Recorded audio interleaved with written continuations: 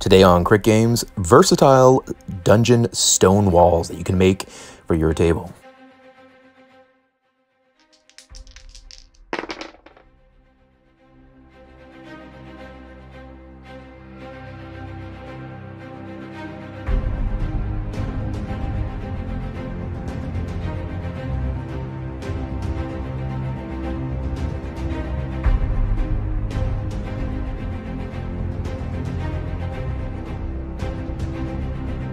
The resizable walls, you can make buildings of any size. Just set up different corner pieces and different wall shapes, and you can put any size of building that you need on your table.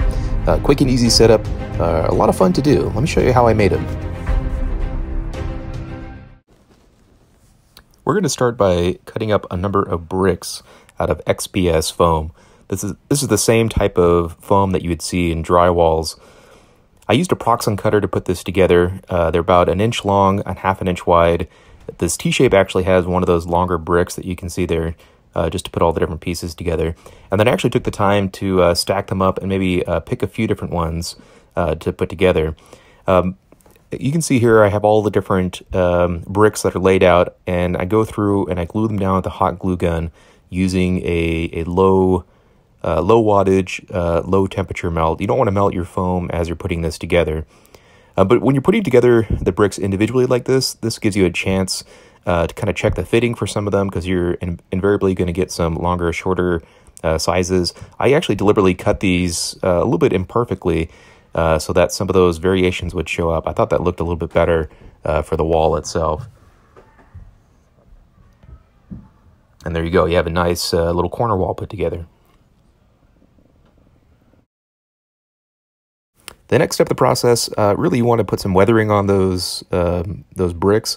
So the tried and true way is actually using a rolled up uh, piece of foil and you just uh, texture all the different edges of it.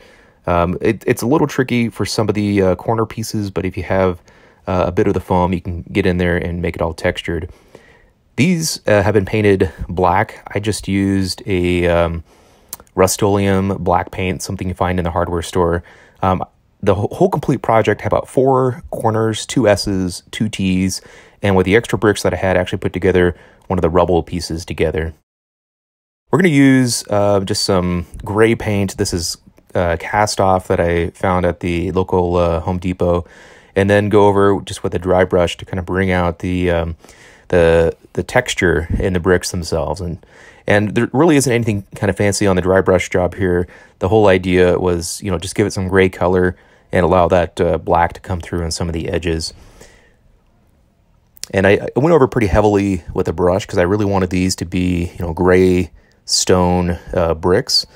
Um, uh, but still, it's you know it's a general kind of dry, dry brush technique. You can see the detail on there that it, it pulls right out. This is uh, Mod Podge. Um, it's a it's a glue and uh, actually has a, a finishing uh, sealer that's inside of it. I watered it down a little bit and just with a uh, sponge brush went through and um, for all the different sides of the walls uh, added a bit of Mod Podge for protection. This will help to make sure that uh, your paint doesn't uh, scrape off as you're playing and also helps protect the foam a bit. So when you have all the different pieces put together, you have a nice looking set of walls that you can move around and resize as needed. Uh, looks really great on the table, and you know it didn't take a lot of effort, a lot of time to put into it. Uh, but now I have this set of uh, stones that I can throw together, you know, one or more buildings. Just makes it really easy and fun uh, to play at the table, and um, very versatile. Here I put together just a, a little tavern scene with a bunch of bits and pieces and filled in some of the, the void spaces with doors. But you can see you can you can really make this at any size. If you leave some gaps in the walls, there's just a you know infers that the the wall extends along that space, and you actually don't need the wall there. Actually, it makes it a little bit easier to see, get to the pieces inside.